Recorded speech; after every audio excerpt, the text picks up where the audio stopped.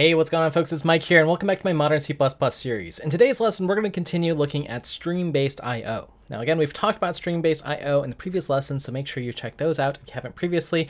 But today I want to go ahead and just emphasize what cout is and look at some of the member functions that we can use with stream-based I.O. So with that said, let's go ahead and take a look at our favorite website, CPP reference here, which looks like it's actually updated recently. But that's okay, we know how to navigate it or use the search. But what we can do is just go to input output because that's what we've been working on. And again, previously we've looked at print-based functions, which are the new C++23 way to do it. But again, if you're on an older system, stream-based I.O. is useful, as well as the streaming functions are very useful for things like, well, literally streaming in data. So um, if we're wanting to build some sort of interface, for instance, where we're sort of reading in or piping in data, the stream-based uh, I.O. library functions can still be relevant, as well as for piping, redirecting, and as well as what we'll get into later, so make sure you're subscribed, reading in input, for instance. Uh, so we still want to understand the stream-based I.O. library, and that's why we're going to talk about, uh, again, some of the different functions that are available. Now, what I want to go ahead and do today is let's go ahead and take a look at uh, OStream here. So let me go ahead and just do a search for it here. Um, because this is, just as a reminder here, uh, the uh, interface for which things like cout are implemented. So again, if you haven't caught in the previous videos, cout uh, cerr and clog, and then the wide character versions, again, are just global objects that are defined to, well, like most processes when you run, you have a standard out, somewhere where you're writing information out. That's usually what you're reading from your terminal. Standard error for handling uh, errors. Uh, and again, we talked about this in a previous lesson that's unbuffered, so you get the feedback right away. Uh, and then clog here, uh, which is, uh, I believe, a buffered uh, output, as we've discussed before. So anyways, let's just go ahead and look at cout. That's where I want to go ahead and focus today. Um, and just look at some of the member functions. Because again, um, when most of us have probably written our latest, or, or I should say our first C++ program, or even today, uh, we probably did something like this here. And I just again want to emphasize that if we run this program here, uh, so again, I'm going to compile it with C++23 here, and then just run the executable. Right, this gives us our little hello world with an end line. Uh, and of course, you maybe learn about other things like, for instance, standard uh, end line here, which inserts uh, an end line and flushes our output. Um, but it's important for us to realize that, again, this is just basically a operator overload here. So we can equally do something, for instance, like cout and then do dot write. And then let's just go ahead and write out hello world with this. And I'm also going to have to compute the size of, with the write function, how many characters there are. So 1, 2, 3, 4, 5, 6, 7, 8, 9, 10, 11. And then this counts as a 12th one. So let's just go ahead and put that here. And we should see hello world twice here. No problem here. Uh, and of course, we get the end line because you can see my terminals here. So this is pretty much in equivalent way here. Now, of course, with the op, um, the operator overload here, that is the stream operator here, which I've highlighted, this allows you to do things like to easily uh, kind of compose and send in uh, multiple values here. Uh, and in fact, you can also do things like, for instance, let's say we're writing out some value here, like one, two, three, four, but I could write that out with uh, hex to change the sort of output form and modify it. Uh, and then you'll get uh, different values here. Now, of course, if I want this to work here, let's write this out as a uh, integer value here instead of a string here. Uh, then we'll actually see the hex value uh, appropriate here. So again, there's different reasons to have uh, both versions here, but I think showing it in uh, this way, let's go ahead and leave it like this, uh, again, just emphasizes that this is just a regular object. This is a global object uh, that's available. So with that said, let's go ahead and look at uh, cout here. Uh, and we're going to focus on cout, not the wide character version, but you can play around with that if you're using uh, different sort of alphabets here. Uh, so again, let's go ahead and look a little bit more at cout. Um, but I'll actually back up for a moment here because there's nothing really in this page here. And since it's implementing uh, what's in our basic O stream here, we want to look at these member functions that are uh, available here. So we've just looked at write here, which inserts a block of characters here. Um, again, basically just outputting the characters in successive location from a character array. Um, and it just needs a uh, the characters and then the count for how many we want to write out from this pointer here. Now, if I just pass in a string literal like this, this is fine here, uh, but we can also do other things here like const char star uh, string uh, literal equals, you know, Mike, something like that here. And let's just go ahead and uh, do the same example here. And I'm just going to put in the string uh, literal. And since this is allocated on the stack here and we know uh, its exact size, I should just be able to do the size of uh, string literal. The string literal should have the null terminating character uh, on it, so we shouldn't have to worry about it. We might want to put an end line character after it though, just for the sake of printing. So let's go ahead and do that and run it. And we can see Mike is printed out here. Okay. So again, that's just where the, uh, the character type here and then the size here uh, comes from. Okay, now let's go ahead and look at a few different uh, other things here uh, that we can do, and maybe we'll revisit that in a moment. Uh, we could just actually put out uh, individual characters here. So let's all go ahead and use standard cout uh, puts here, and I could just put uh, one character at a time here. And again, this could be useful if you are emulating um, or wanting to do, you know, just one character at a time here, or maybe emulating some sort of system call here. Uh, and again, you can just write out the characters individually. Now, let's go ahead and take a look at uh, what I was exploring briefly here with something like writing out um, hex here. Let's, let's go ahead and just look at a few more uh, of the member functions here that are part of the state here. Um, so you can query what the sort of state is of your IO here. And this might depend on, you know, the type of application that you're building or what level you're building at. Uh, but basically you have a bunch of these member functions that query the state to see if you're in a good or a bad state. Uh, things like if you're at the end of the file that you're writing to, uh, and so on here. Uh, the one that I'm particularly going to be interested in are the member functions under formatting, uh, so sort of understanding the state here. Um, so let's go ahead and take a look at these flags here. Uh, and basically what the formatting flags are, are things like if you want to write out things in hex, for instance, or control the alignment. Uh, and now why these are sort of interesting to take a look at here is because uh, one, of course, we want to do sort of the cout and control how you write out some values. So let's go ahead and do cout, for instance. Um, and let's go ahead and do uh, hex. And let's go ahead and write out the value 12. And then let's go ahead and write it in uh, oct. And also do the value 12. And then just put an end line. Let's go ahead and see what that writes out here. And you can see we get the value C. Uh, and then in, in oct, this is going to be 14. Uh, sorry about that. Let's go ahead and let's put an end line uh, in between these just so we can understand uh, the difference just a little bit more clearly. Uh, oops. Let's get rid of that semicolon. Uh, so you can, anyways, you can see the values C and 14 here uh, that are being written out here. but again, that controls our sort of state here. Um, so something that you might want to do is actually have a way to sort of change these flags here or get the state here. Um, so that's what the flags is. It's actually going to just store that. I don't know if internally it's just using some sort of like bitmask or something. Uh, that's probably how I would uh, set it up here. Uh, but you can see their options. I mean, a common one that folks often want to do is just write a value as true or false. Uh, so let's go ahead and just do a, a bool uh, value equals true, something like that here. Uh, let's go ahead and write out that one here. So do cout. and then let's go ahead and do standard bool alpha value, uh, an end line.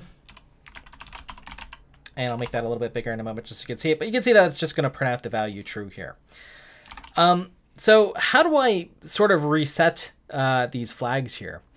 Um, well, something that you can do actually, uh, just to make this a little bit easier here, right? You have this format flags uh, sort of object that you could do, is I could just actually store this as like uh, get flags here and then cout dot flags here. Okay, uh, and then I'll actually return my flags um, of my current state here. So if I haven't set anything, this might be some way to get a default back, for instance. Uh, so let's go ahead and copy this line here. And what I'm going to go ahead and do here is then I'll go ahead and restore the state for my flags. So I use this first one to retrieve the state, and I'm going to pass it in as a parameter to this second overload here to uh, set the state here. So I'm going to call on cout here because that's my current stream here, uh, flags, and then I'm going to pass in uh, whatever my flags are. And then you'll see we have one version. Um, uh, oops, actually I got a, a, little copy and paste error. Let's get rid of this here. There we are. Just write out our value here.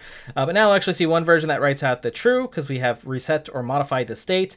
and then we restore the state of our flags, and then we uh, just get a 1 here, which represents the uh, value of our uh, Boolean value here for true. Okay, so those are a few of the member functions that we have here.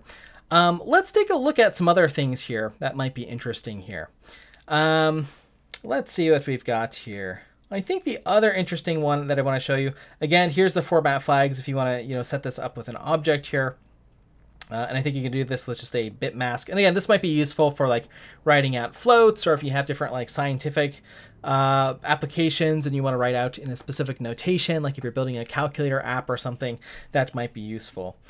Um, there is one other thing here I'll show you here, rdbuf here, uh, which manages our associated stream buffer. So let's go ahead and take a look at this here. Uh, and we're going to sort of use a similar trick that we did with the uh, flags here. Uh, but basically, we can return the associated stream buffer um, that we're writing out to. Uh, so what does this mean exactly here? Uh, well, what I'm going to go ahead and do here, and we are going to talk about file access and writing out data here, but I am going to need fstream here for file stream here. And basically what I'm going to do here for this little example is create a little uh, output file stream. And these are the types of things, again, you'll find uh, we'll start getting into here. Uh, I'm just going to call this output for now. I'll call this output.txt, something of that nature here. Um, and then what I'm going to do here is I want to capture the original cout uh, buffer here, okay? Um, so what that means is I want to go ahead for uh, out here. I want to capture rdbuf here, okay? Uh, so again, let's go ahead and make this a little bit uh, bigger here. Uh, and again, this is the stream I'm associated to. So I don't really have any other way to, you know, get uh, standard out here. So I just want to kind of hold on to it um, in this object here. Now, what's the actual type here? Uh, you know, this is the type here. Again, I'm just going to use auto here. It's a little bit easier here. I know some folks want to see the uh, full type, but uh, here it is. It's just going to be some basic uh, stream buffer here. Um, uh, and in fact, that's what the CPP reference is using. So I'm going to actually go with that as well here from the stream buffer. Okay, so again, what this is essentially holding here is standard out, which again is just a sort of file handle to wherever we're writing out to uh, on my Linux system, which is standard out, and that's the output that you're seeing in my terminal here, as we've previously discussed. Okay, so now what I can actually do here uh, is now I can use this cout here and sort of redirect where I'm writing things to. Uh, so I'm going to change the rdbuf to my output. Uh, that's this one right here uh, to its uh, buffer. Okay. So now let's go ahead and just, you know, use uh, cout here. And we can use any of the techniques that we've learned about. Let's just go ahead and write uh, Mike here, for instance, with five characters. And that should write out to this file here, uh, Mike here. So we should have output with Mike here. Okay, so let's go ahead and try it and see if that works here. Um, now again, importantly though, if I do want to uh, restore my original cout buffer, again, uh, let's make sure that we do that here. Uh, let's go ahead and just basically just do the same thing here. Uh, original out buffer here, and then I'll write, okay, back to normal. Okay, and let's go ahead and do an end line here. Okay. Um, so what I'm basically going to expect here is have a file called output.txt here. Uh, I'm writing Mike to it through cout, and then we should hear or see on the terminal back to normal uh, printed out, but we shouldn't see Mike. Again, that's just being written to the file here. So let's go ahead and try this out here. Looks like it compiled. I see back to normal here. If I output uh, my file here, we can see there's one line here for Mike. Uh, so it looks like things are working uh, just fine there. So again, we have a lot of power here if we want to, you know, redirect, um, you know, uh, which which buffer we're actually writing to with cout. So again, this could be kind of useful if you're logging, if you want to implement your own version of uh, cout, if you don't want folks to see what's going on um, on a terminal, right? You want to manage these buffers. Again, you've got these member functions to hold onto things. Um, and that's where the rest of these sort of query functions are kind of useful if you want to see like if you're in a good state or a bad state or, or these sort of uh, different uh, things here. Uh, and again, there's different ways as shown with the format flags that you can store this state and restore it uh, again if you want to play around with that. So let me go ahead and just show you the code one more time here, uh, just on a full screen here, uh, just in case you missed anything. Let's just go ahead and make it nice and big for you. So what we learned today is about doing IOStream um, and using the member functions. So with our global cout object, again, this is going to be the same with cerr and so on. They're just global objects, but we have many, many, many different member functions that give us you know direct control. So we can do things beyond uh, just using the uh, overloaded uh, stream operator. But again, the overloaded stream operator is very useful if you want to sort of compose these operations together and do things like this. Uh, so we looked at a few things with the flags, um, how to uh, restore state here by holding on to the actual uh, original states here, how to redirect our output, and uh, so on here. Um, there are a few other interesting member functions if you do want to play around with these. Uh, like for instance, uh, there are functions like, let me see, there's like uh, seeking, so you can kind of move around the actual file stream. Uh, you can return the position. So again, these can be super, super useful because remember, our streams are just literally buffers sort of holding bytes. Uh, so you can play around with these. We're going to look at these functions. I think they'll be more useful to look at with uh, doing different file output, for instance, so I'll save those for later. So anyways, folks, that's it for this lesson. We've looked at some of the member functions in basic OStream or cout as we uh, sort of recall things. And as always, if you're finding these lessons useful, feel free to check out my courses at mshah.io. You can check out a full introduction to C++ or the series that we're following here. Uh, it's totally free to enroll if you want to just track your progress in a more uh, distraction-free environment. Or I should say, uh, uh, an environment with less distractions and pop-ups and so on so you can remember uh, or check back if you've watched all these videos.